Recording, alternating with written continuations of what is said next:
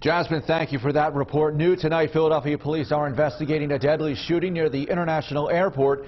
It happened in the 8100 block of Grovers Avenue shortly before 730.